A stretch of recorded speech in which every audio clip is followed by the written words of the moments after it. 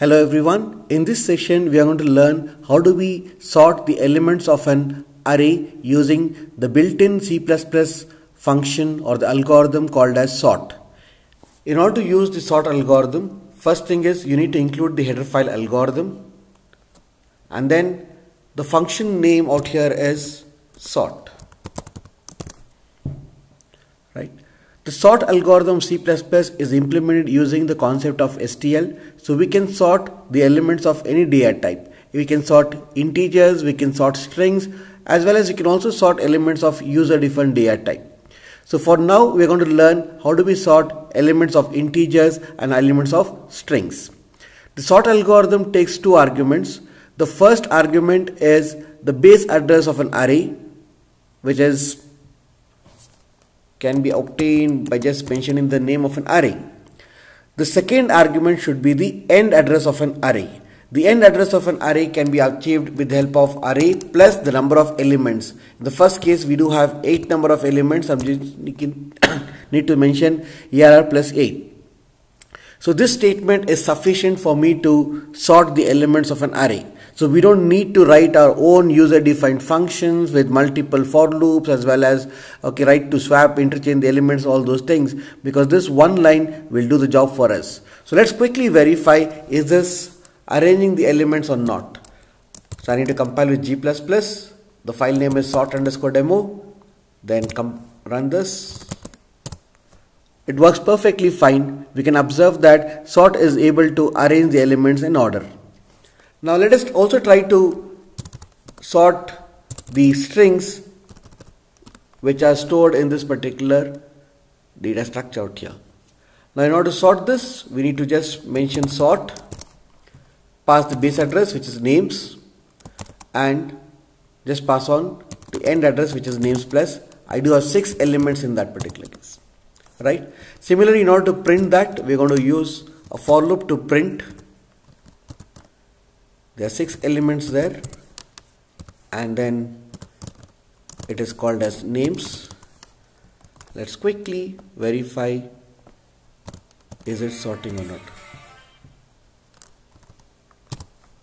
Right? Perfect. It is sorting. The elements out here h comes before n then p then s s si so it's perfectly sorting the elements of integers or the elements of strings now, we can improvise this particular program one level. Now, this particular code has a lot of magic numbers. This is called as magic number. This is also called as magic number. And the problem with this particular numbers out here is it does not really specify what is that. And then, yes, you can improvise by telling that, okay, I'll just use a variable which basically captures the length of an array and then mention it. The other way what we can do it is we do have a C++ construct which can automatically determine the starting address of an array and the end of an address of an array. So we just have a function called as begin. We can pass on this and then similarly we can use end and we can pass on this. Now this begin function and end function are C++ 11 constructs. Along with this, we can also try to utilize a build, much better improvised for loop. So wherein you can just specify the element whatever you want to capture into. This is array name and you can just print the element here.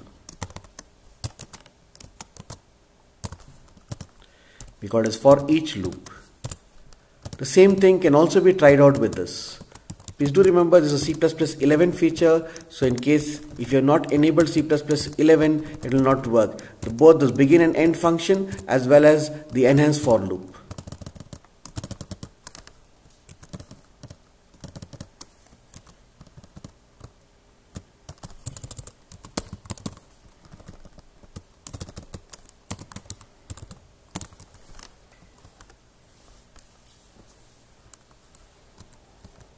Compile it sorry.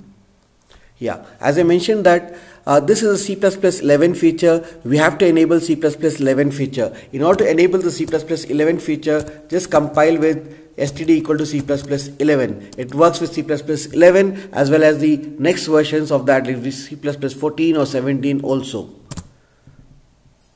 Perfect now let's try to add few more elements out here and this. Let us see okay will it really work properly or not? I'm just adding up four and then let us say i would like to add another five right? Then i would like to add someone like nine. I'd like to okay probably i can also think of adding or removing some names.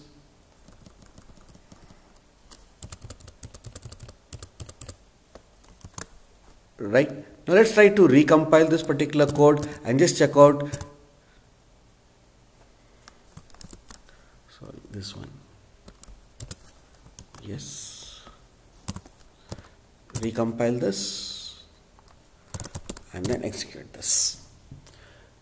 So it's a quite a new feature wherein we can just use the begin function, pass on the array, that will give the base address of an array, and I can also use an end wherein I, it will give me the end address of an array. Now, if you can just also observe this for loop, it's very much same except the dir type of this, dir type of the variable which captures every element of this. Now, instead of mentioning the dir type explicitly, if you want, you can also use auto which is again a C++11 feature. It will automatically determine the dir type here. Since ARR is an array of integers, the element will automatically become an element of type integer. The same way, since names is an array of strings, every element will be of type string. So quickly try to compile this as well as execute this. Fine. Okay. Now, it, not only it works with a uh, traditional arrays. It also works with vectors